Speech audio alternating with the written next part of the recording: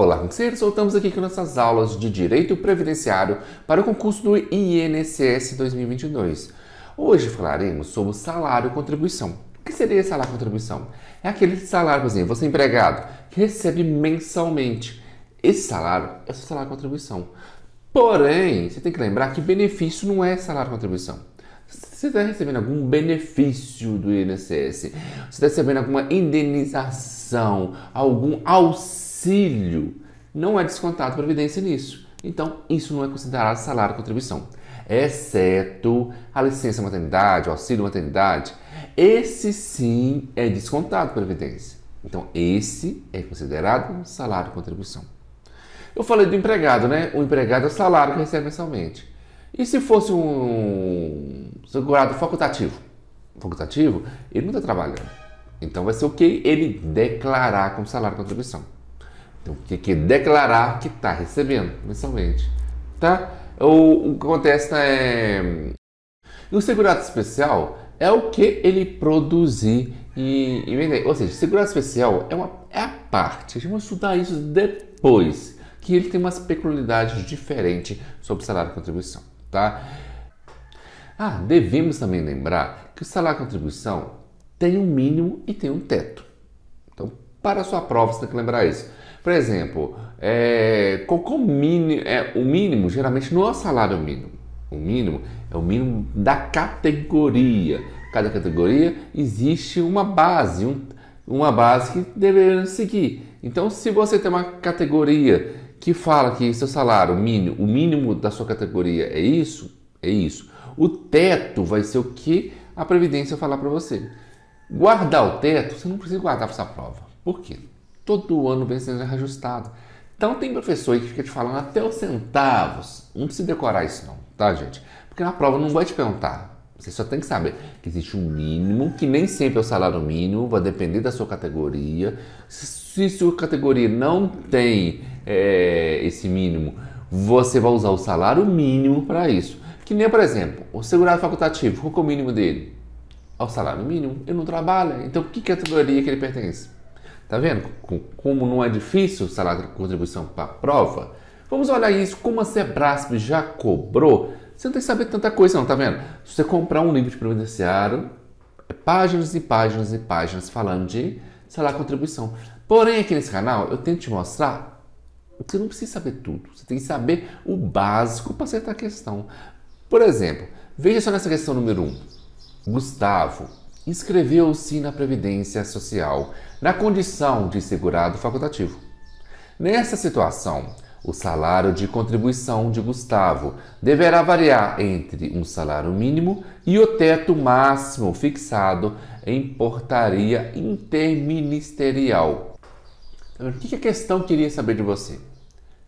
Que você tinha que saber dessa questão aqui. Que tem uma pessoa que é segurado facultativo. Segurado facultativo, a gente já viu, ele não tem uma categoria para falar a base do salário dele, não é verdade?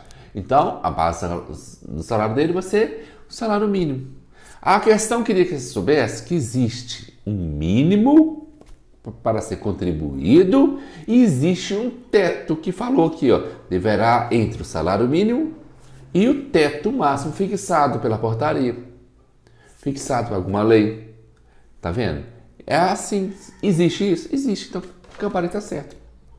É assim que a gente vai acertar a questão. Você não precisa ficar sabendo o mínimo de cada categoria. Você não precisa saber qual é o máximo que essa portaria aí fala.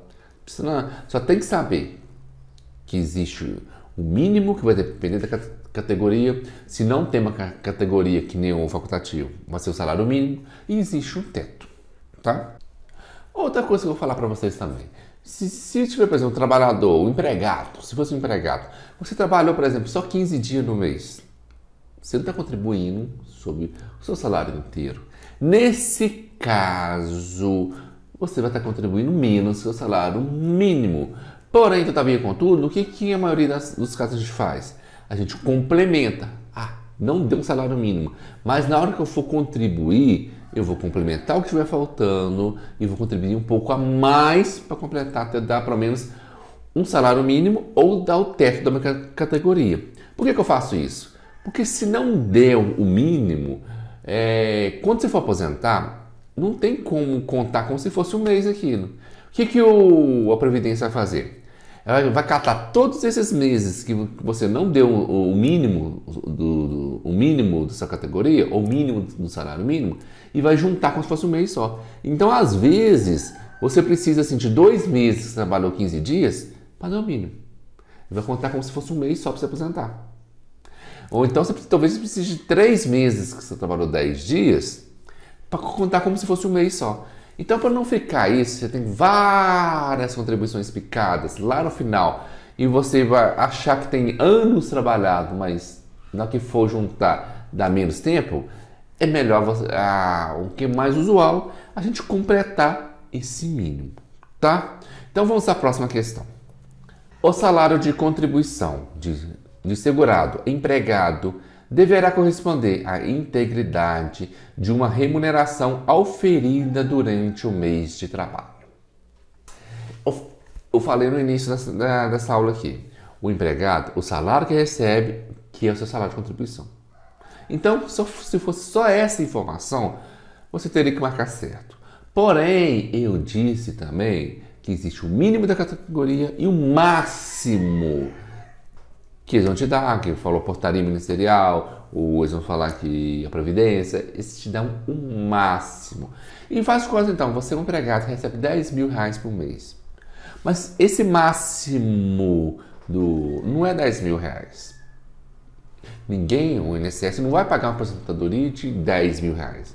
Eu acho que está uns 6 mil e alguma coisa esse, esse ano. Então, se você recebe 10 mil, vai ser descontado seu até esse teto, por exemplo, até esses 6.600, alguma coisa assim que está esse ano. Tá? O resto que passou do, do, desses 6.600 não vai ser descontado para Previdência. Não vai ser seu salário contribuição. Seu salário contribuição até o teto. Então, quando falou que o salário de contribuição do segurado empregado deverá corresponder à integridade, opa, já não é integridade mais. Você não sabe o valor do salário dele. Se o salário dele passou do máximo, o restante de que passou não é salário contribuição. Salário contribuição é apenas até o teto. Tá? Recapitulando, se o seu salário é 10, 15 mil, você vai pagar salário contribuição apenas até o teto de 6 mil e alguma coisa, tá? Não precisa saber qual é o valor do teto. Só tem que saber que existe um teto e o que passou do teto não é mais salário contribuição. Por isso o gabarito aqui está errado. E lembra que eu falei, Sebrasp falou assim, deverá ser feito desse jeito, deverá isso, deverá aquilo. Muito cuidado aqui, ó, deverá corresponder. Muito cuidado, a maioria dessas questões são erradas. Vamos lá. Roberto é empregado pela empresa XYZ ME há 30 anos e pretende requerer ao INSS em 1 de 10 de 2018. A concessão de aposentadoria por tempo de contribuição. Com referência a essa situação hipotética, julgue o item seguinte. O salário de contribuição de Roberto corresponde ao valor de sua remuneração, respeitados os limites mínimo e máximo desse salário. Outra vez, está vendo pergunta sempre a mesma coisa. Falou, por que, que falou que Roberto é? Um empregado. E o que, que eu falei dos empregados? O salário que ele recebe mensal é o seu salário de contribuição. Certo? Tem Então, o, o início está certo. Ó. O salário de contribuição de Roberto corresponde ao valor de sua remuneração. Desde que esse valor não passe um teto máximo, não é verdade? Isso que ele falou aqui também, ó, respeitando os limites mínimos, que não pode contribuir menos Caso ele contribuir menos, aí vai, eu já falei, vai somar aqueles meses picados, vai virar um mês só. É uma trabalheira danada. Então, a gente convenhamos, vamos inteirar. Caso ele trabalhou só apenas 15 dias, trabalhou só 10 dias, inteira, paga, paga como se fosse um mês inteiro, tá? Legal? Então, aqui, tem um limite mínimo que você vai pagar, porque se você não pagar esse mínimo, vai ter que juntar mais de um mês até inteirar esse mínimo e o máximo, que é o teto da Previdência. Então tá certa a questão. Tá vendo? É fácil acertar a questão de salário contribuição. Você não tem que estudar 30 páginas, que nem está nos livros previdenciário ou nos PDFs por aí. Basta você saber Existe uma categoria, então existe o mínimo dela, existe o máximo que a Previdência fala. O resto é salário, o que tiver ali entre o mínimo e o máximo é o salário de contribuição, tá? Certinho o gabarito.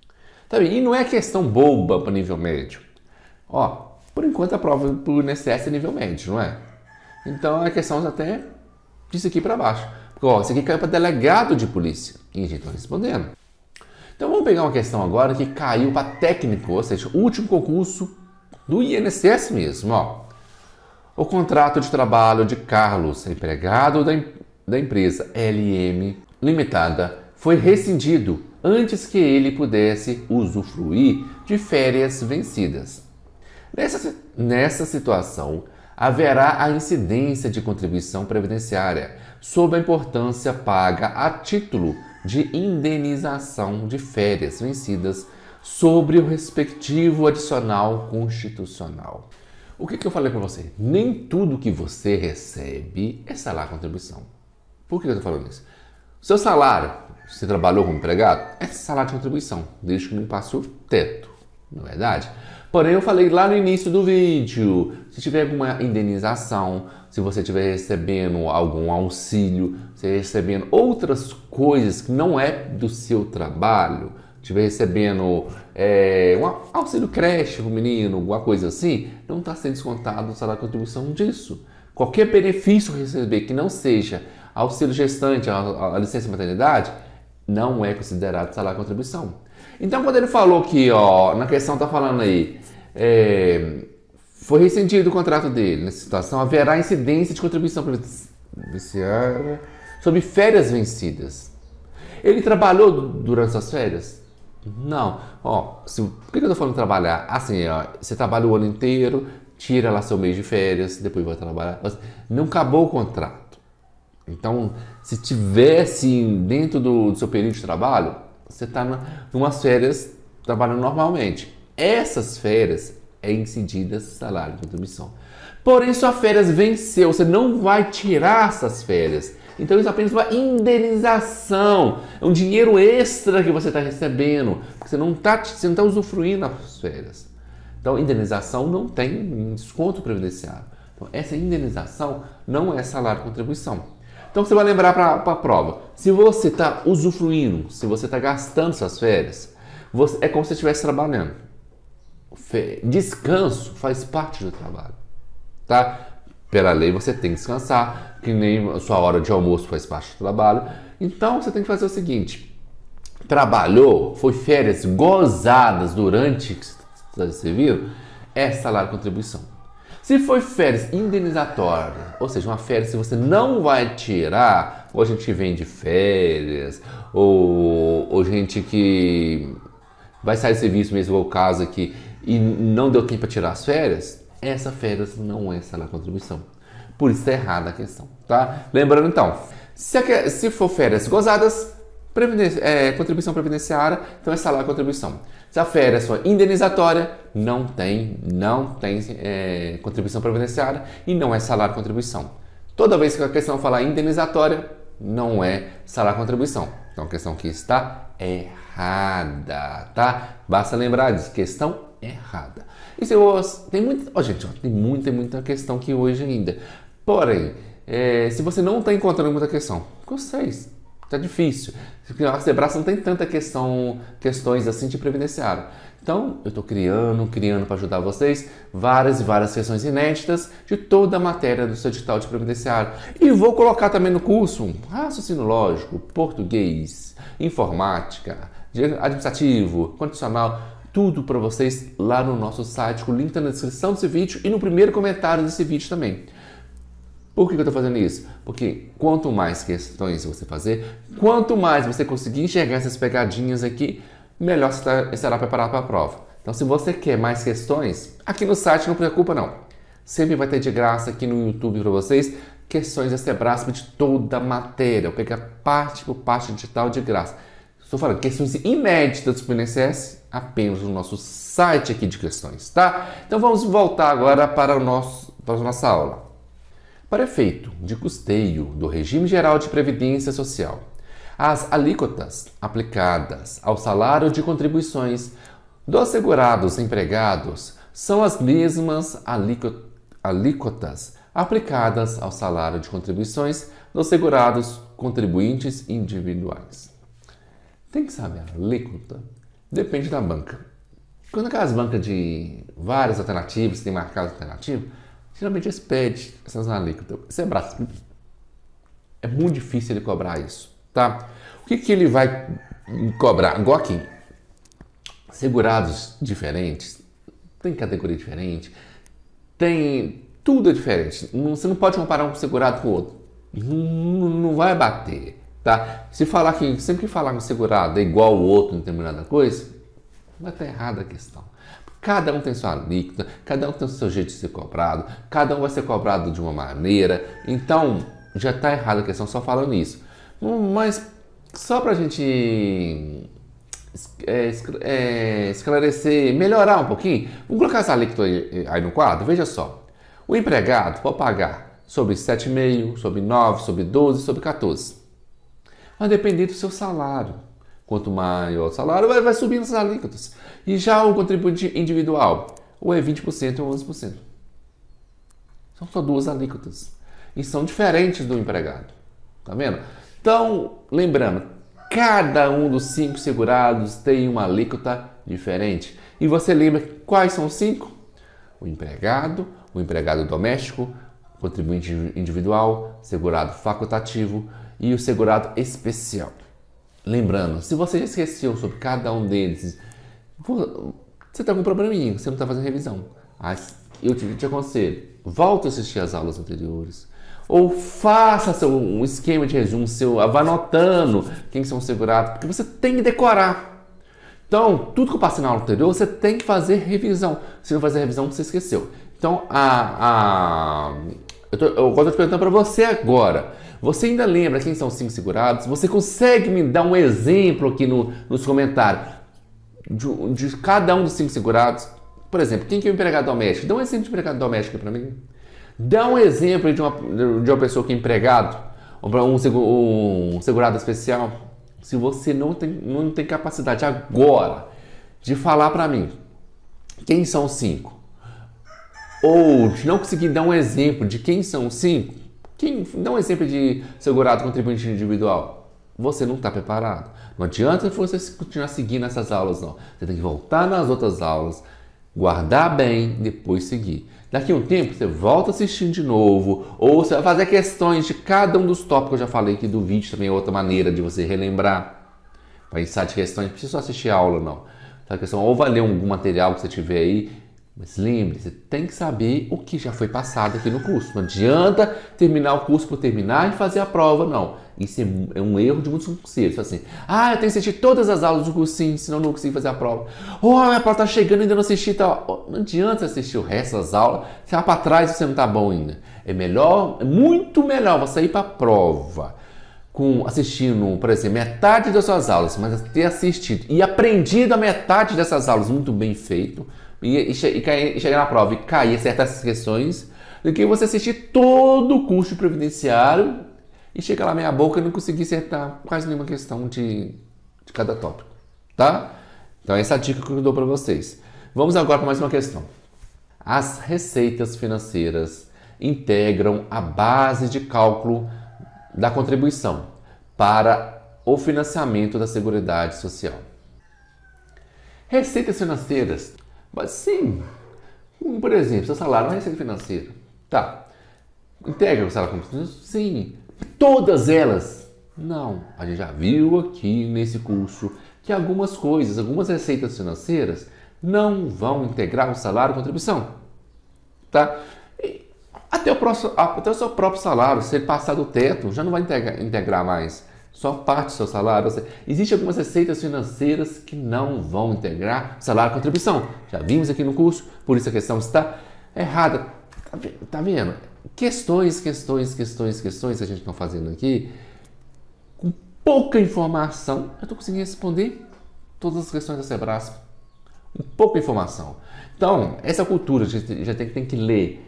Que livro? Eu caí nisso, gente. No último concurso do, do INSS mesmo, eu li aquele livro lá de 1.400 páginas que eu comprei lá do Direito Previdenciário.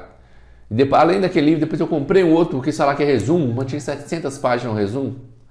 Ou seja, eu já caí nesses contos do vigário que fica falando aí, você tem que estudar, estudar, ler muito. Não, eles põem muita jurisprudência, eles põem muita coisa que não cai. Foca no que cai, tá? Foca na, na informação principal que a banca quer que você saiba. A informação principal que o órgão falou para a banca, fazer, eu preciso de funcionários que saibam isso, isso, isso. Muitas informações foi o próprio órgão que mandou a banca cobrar, então ela sempre vai cobrar essas mesmas informações. Tá? Tá legal? Então, resumindo, se você quer muitas questões previdenciárias inéditas, estilo Sebrasp, no nosso site, link na descrição desse vídeo. Se você quer continuar assistindo aulas e aulas, aulas gratuitas aqui no YouTube com questões da Sebrasp, de toda a matéria de direito previdenciário, tem que estar inscrito no canal. Quem não está inscrito no canal, como que o YouTube vai te avisar da minha próxima aula? Que nem eu sei quando vai ser a próxima aula. Estou colocando aos poucos aqui. Provavelmente o concurso ainda vai sair esse ano. Estão lutando para o concurso sair esse ano. Mas se não sair esse ano, no máximo início do ano que vem vai ter esse concurso do, do, do INSS. E você tem que estar preparado para essa prova. Não é uma provinha que você tem que ir lá meia boca acertar 70% você entra, não. Sabe, INSS é muita dedicação, é muito trabalho e é muita questão que você, questões que você tem que fazer. Por quê? Você tem que acertar lá no, pelo menos quase. Tem localidades que tira até mais de 90%. Tem localidade que uns 85 a 90% já passa. Então, são altas, são notas altas, a nota de corte do INSS é alta, tá? Então, então eu conto com a sua ajuda para o canal crescer, com a sua inscrição aqui no canal e, pra, e, e também para você não perder nenhuma das aulas e passar, passar com louvor nesse concurso do INSS. Até então, até nossa próxima aula.